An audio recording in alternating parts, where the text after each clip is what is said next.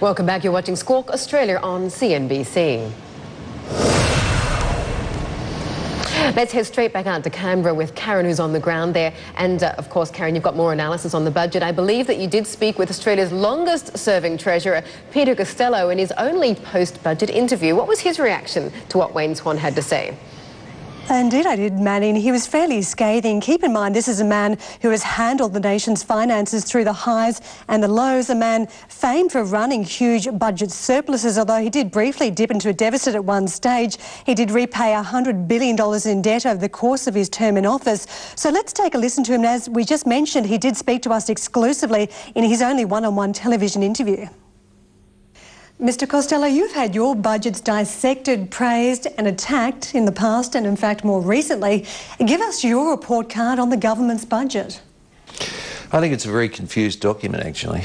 Um, on the one hand, the government is trying to say we're in the midst of this enormous financial and economic downturn, but they predict a very moderate recession and a very strong recovery on the one hand, they wanted to tell us that they were going to be cutting back uh, on expenditures to try and get the budget back into balance, and yet the theme of the budget was more fiscal stimulation. Uh, this is a bipolar budget, different messages at the same time.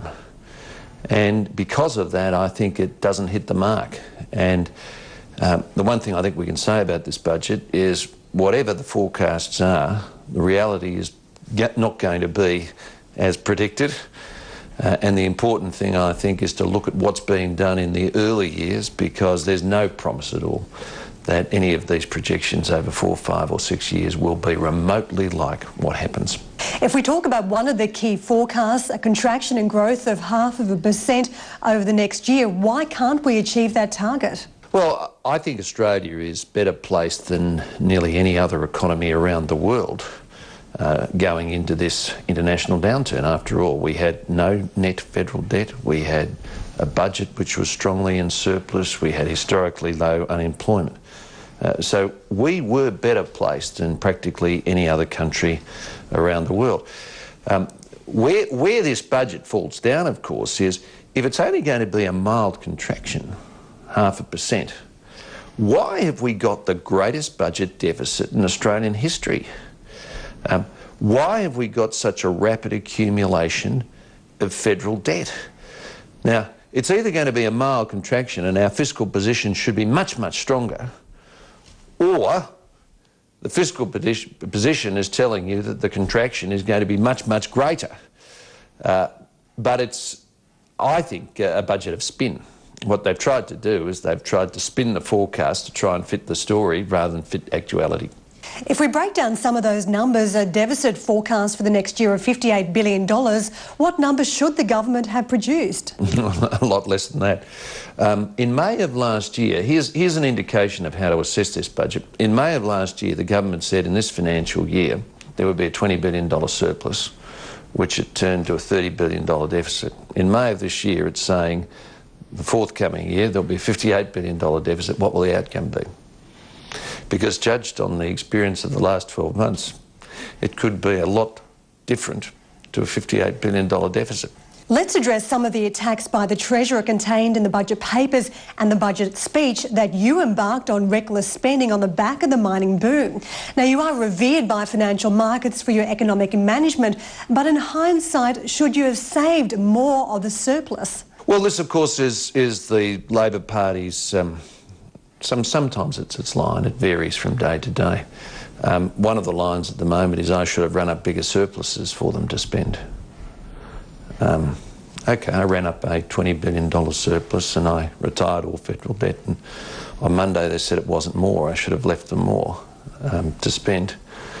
Um, I don't think that actually. Having paid off all federal debt, having left a $20 billion surplus, having established a future fund, a sovereign wealth fund with $61 billion, having put Australia stronger than any other country in the world, it's hard to say I should have done more. Um, and in fact, if I'd run up bigger surpluses, they would have wasted them anyway. I think the um, point here, uh, as I look back on it, is uh, perhaps, you know, as I've said earlier, uh, we should have cut taxes more aggressively. Um, but Australians can forget about tax cuts probably for 20 years now, I'd say. Um, we, we, will be paying off this federal debt for 20 years. Net debt will run up to 13.8% of GDP in 2013 2014. You've gone through the process of repaying $100 billion. What are the challenges the government will face? Well, what, what the government's saying now is they'll build up $188 billion of net debt. Um, but if you actually look at the debt statement, the, the gross debt will be greater than that because there's certain off balance sheet transactions. And financial markets ought to know that the government will exceed its borrowing limits. This is a big point if you look at this budget. It will have to get parliamentary approval to exceed the borrowing limits. By how much and why? Uh, why? Because in addition to the money that's required to fund all of these deficits, uh, the government's also raising money for all sorts of other projects, such as uh, uh fibre, uh, such as um, the, the, the so-called business bank. Um, so um, there's more borrowing in here than just the 188 billion dollars of net debt. Uh, now, uh, let's come to that point. Um, it took us uh, 10 years to pay off, 10 years of surpluses to pay off $100 billion of debt. How many years of surpluses will it take to pay off $188 billion of debt? Uh, if you look through these papers, um, the, the furthest projection I could find was 2020, and they're still saying the debt will be around in 2020.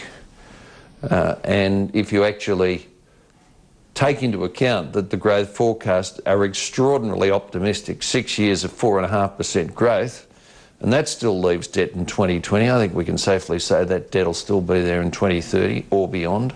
The Treasurer does raise the point that net borrowings will still be a lot lower than other advanced countries. Does he raise a valid argument? Well, of course, we had a much stronger position than other countries.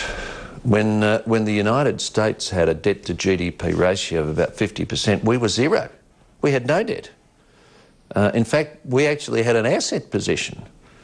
Uh, so we were miles stronger than um, the United States, the United Kingdom, Japan, uh, Britain. What, what made Australia different is that we had no debt. Now, we're no longer different. We're following other countries into debt. Uh, the government's lucky it started from such a strong position because it's been on a big downward slope.